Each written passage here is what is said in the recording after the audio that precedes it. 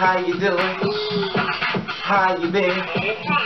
What's going on? What's good? How you getting in? Body getting the fight. What's going on, people? What's up, people? It is a day of another day of another day that we call Wednesday. Anybody being said what's going to people? Hopefully everybody's doing everything as far as being safe, understand stuff. You know, uh, I went to the store over this store over this morning to get some um, tissue and stuff because you know I got allergies like crazy. I wish I didn't, but I do. But anyway, so I went to the store and everything, and I saw this guy that works there and stuff, and I know he doesn't like me and stuff. I don't know for un unreason known, I do not know, but I kind of picked it up from him before, you know, that, that nasty stare like this, and he's the guy that works there and stuff, and of course I walked to the door, I mean, to the, um, to the store and everything, he saw me, he looked, he saw me coming, so he just walked off and stuff. He's been, like, really mean to me for a long time and stuff, but I try not to pay people like him no mind, so, you know, it amazes me, and then it just amazes me how he is with me, and it's the look he gives me, like he just can't stand me. I guess he knows what's up, I don't know, but at the end of the day, I just pray to God that I keep my mouth closed. no, I'm not going to be, I'm not going to respond to him the probably way he think, you know what I mean? Like he probably think I'm just going to be one of those, I'm, honey, I'm a big, I'm a big bitch, honey. Ain't that many calories I have missed. At, at the end of the day, this is it. I got on the scale and everything, and I realized that I gained like 10 pounds. Now, of course, my phone is ringing because I'm doing this now. For some reason, I don't know whether I'm on a, call list or something, or the do not call list. But, you know, in job, keep sending out jobs and stuff. So basically, since you send out your resume, all of a sudden now my phone's like been ringing like crazy. The house phone, my cell phone. And it's not even anybody on there. It's just somebody who wants to, um, I guess, your your gas bill, your this bill, you want to go to college, you know, and it's like a whole bunch of telemarketing schemes, you know, that's going and stuff. Anyway, so this is the thing. Like I said before, I was trying to keep my composure and stuff when it comes down to him, and uh, he's just like really negative and stuff. Now, I gained a lot of weight. Um, I was 180, now I'm at 2 something. you know, and this is the thing with me. I learned within my own skin that I try to fit in this stuff, and you know, I feel that when it comes to girls like us, I think it's really hard because a lot of times we do all the listening to other people as far as blending in, as far as being passable, presentable, what the kids can be. And sometimes we try to be everything what they tell us and we lose ourselves. We start becoming depressed, we start becoming, you know, it's just a lot that takes on mentally and stuff. If you're the kind of person that wants to learn and stuff, like me myself, I wish I had stayed the way I was so this is out there who's like me stop listening, do things your own way, and if nobody don't like it, then fuck them because at the end of the day, I went into a, a great, real big depression and stuff because I was trying to conform to what everybody said. Dude, you can't wear certain clothes. You, you, you, you have to look a certain way. You can't gain weight. You have to be this certain way.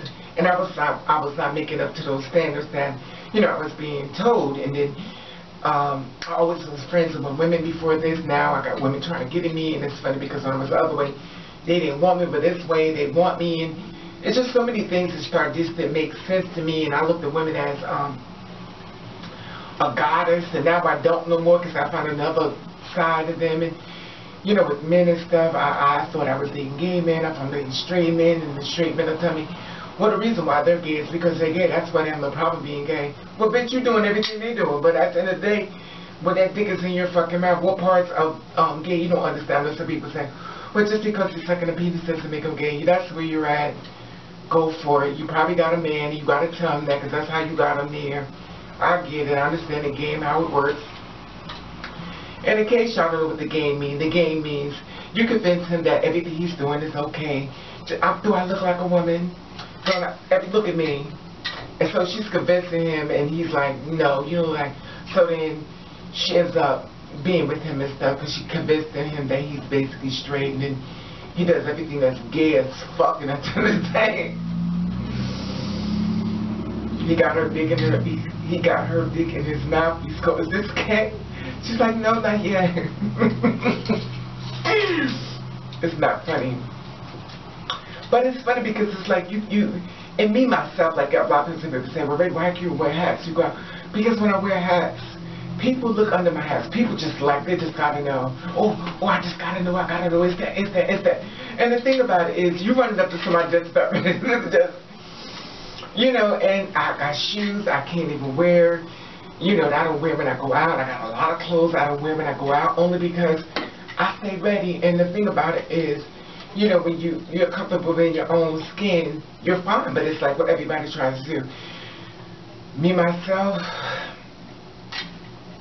it's just been a really big struggle for me. And the fun, one thing as far as being my truth and stuff, and the clothes I would wear and stuff, you know, I like big clothes and bulky clothes. You can't wear that because it make you look like a big man. And I like oversized clothes. I don't like clothes that fit. It's just so many rules that I just, I threw them out. Obviously, I threw them out because I had to stand in my truth and stuff. And one thing I decided that I was going to do within myself was I didn't want to fight anymore. Like I was not fist fighting. I was like, say what you want. I'm just gonna walk off. You know, me, you know, say what you want.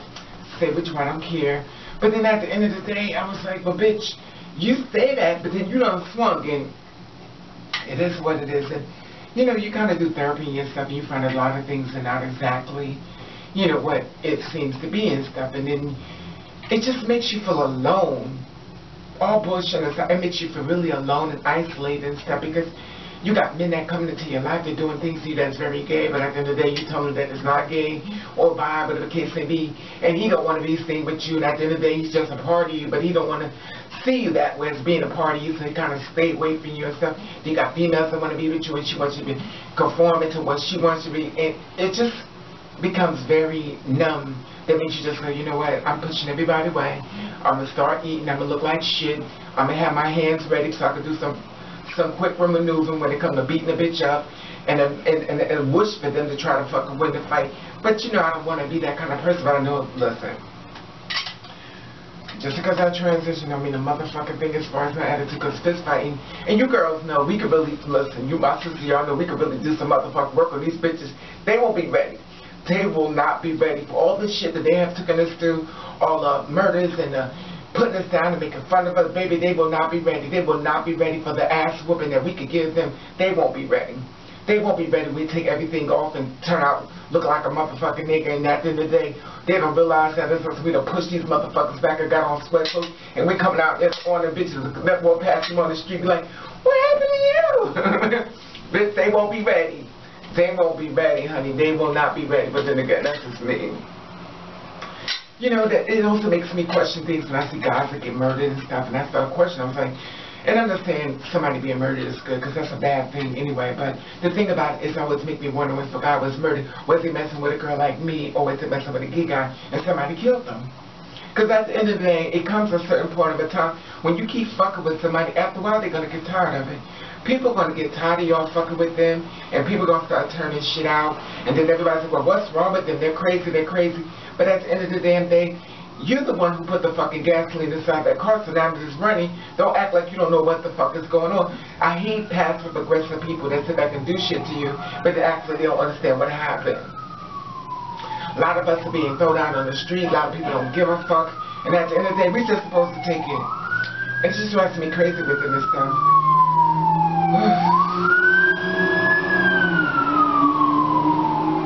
I just question everybody now. I question everybody. I question everything. I don't conform anymore. I don't give a fuck. You know, it is what it is. And at the end of the day, I used to try to, you know, you try to try to blend in like you find a way to make you look more cut, more real. I'm like, fuck it, I don't even give a fuck. Because at the end of the damn day, it is what it is.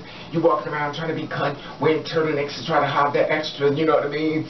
So nobody's spooking at the end of the day. Everybody know what you want, but you think it's, nobody, you know, it is what it is. It becomes the part of freeing, being free, not giving a fuck, getting fat, getting nasty, and gaining 10 pounds. And then the funniest thing about being who I am, you're from a little ass man and want to be with me. So I was a little bitty short ones. Not the tall ones, I was a little bitty short ones and stuff. It's like I said, and he'll fight, you know, he'll he'll go against the grain if somebody try to fuck with you. He'll walk with you. But the tall ones is running the high. It's just a lot of things that just make sense and stuff, but it just amazes me that once you once you decide that you don't give a fuck, baby, it is so freeing. Once you just once you decide you do not give a fuck, it is so freeing. Baby, you don't give a fuck. You stay ready so you don't have to get ready. And at the end of the day, they won't be ready. They will not be ready. Because they get lost in the Uber stuff and they don't realize it. They keep saying, oh, but you are me and you man. So at the end of the day, if you keep saying it, then what may happen if you was looking at same way you looked at other guys. But I guess um, I'm not trying to say like, you know, we're trying to start trouble because a lot of us are now. We're just trying to go from point A to point B and stuff like that. But due to the fact that sometimes some of us just feel so fucking fabulous we just can't stop and get attention and stuff like that. But the thing that gets me also with me is that, you know, a lot of times guys run up to me and they want to talk to me and stuff. When I went to New York, um, I think it was last Friday and stuff, this guy stood in front of me. He just he just wanted me to say something to him, and I won't. Like I just actually did say something to him. When I first got to the bus stop, he was like, how you doing? How you doing? But I told you I don't speak back and stuff. He was like, hello. I was like this. Hello. He was like, hello. I guess he's like, you hear me, bitch. yeah, I hear you, but I'm not speaking back. Because at the end of the day, I don't know if you know or you don't know or you're curious. I don't really give a fuck. And at the end of the day, I don't want to hear it no more. Like, I'm over it. You know, it just gets really old because at the end of the day, you know, when you when I decide to speak back or something like that, and then all of a sudden now, oh, we become cool and stuff like that. Then somebody see me and you together, then all of a sudden they say something to you, and then you run off like a little pussy hole. I ain't, listen, I ain't got no tampons for you fucking pussies. If that's what you are, you fucking men, at the end of the day, you so goddamn scared of what somebody you gonna say, you know, go ahead and do it. Buy you a box of Kotexes, sit in the corner and shove in your motherfucking pussy, because that's the goddamn thing. I'm not babysitting you. Take your period ass over somewhere else and sit and hide like the rest of the punks. I have no problem with that. But at the end of the day, I'm not going to be friends with you, cool with you, and you walk out the door and somebody says something to you, you know, about being with me and stuff, and all of a sudden now you say, ooh, I can't believe this, you know. And there, it is what it is. But I'm not conforming anymore. I'm just over it and stuff. I'm going to get fat. I'm going to get fat nasty. I know I'm a little big. My stomach got bigger. And it is what it is and stuff. And and a bit a big bitch got to stop trying to squeeze in little dollar outfit. but at the end of the day, yes, I'm one of the bitches. like, girl, I don't fit. I'm like, bitch, I'm getting this motherfucker. I'm pulling it. Whoa! I'm like, uh-uh, I'm getting this motherfucker. And, and the thing about it is, you know, it is what it is. Anyway, I just want to share this with you as far as gaining weight, as far as don't listen to what nobody's saying the more you um, transition because at the end of the day, it makes you depressed. It made me depressed. I was so fucking depressed. I didn't know what to do. I felt like no matter what I did was, it was judging. Like, always feel like this. If a person worked with you long enough, you will start hearing their voice in the house with them out being there. And you start judging yourself. You start getting real paranoid and stuff like that. But at the end of the day, it's very freeing not to give a fuck. It is very freeing not to give a fuck. It is very freeing not to give a fuck. Until you hear what I'm saying, it is very freeing not to give a fuck. When you want to go out to look like pure shit, go do it. I'm over it. I'm over it. And somebody said, well, bitch, I thought you been over it. No, but I, it's, I listen, I'm human. I'm, I'm a Gemini, so you know, I flip flop sometimes. Sometimes, sometimes you don't mind. Sometimes you don't want to hear it. And today, it's like the guy at the store. I, I want to act a certain. I have to remember, be calm, be you know, listen, sir, you know. But I don't want to do that. I don't want to go, you know. And, uh, but you have to act like a lady, you know. You don't do that. You say, listen, sir, you're not supposed to do that. Sure, I ain't got time for that you know, grab that bitch by that shirt, well, boom.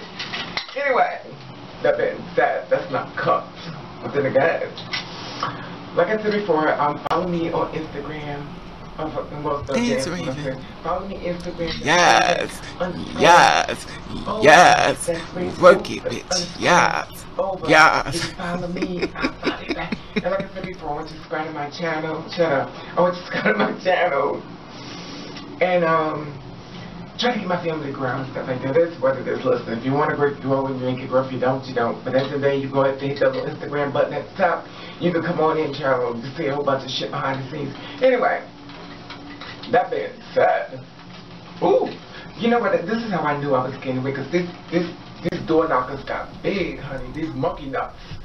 Anyway, I just wanted to share this with you, and I'm gonna try and love you. And thank you for watching. Catch the rain. Alright now, you subscribe to my channel. Come on, friend, let's go Instagram. Like I said before, subscribe to my channel. I'm trying to build my family. Like I said before, I'll be looking for your Instagram. That's Raven underscore ovah. That's Raven underscore ovah. This way you get a chance to see a lot more things I don't put on YouTube through copyright reasons. And of course, I want you to see my little reality that's going on.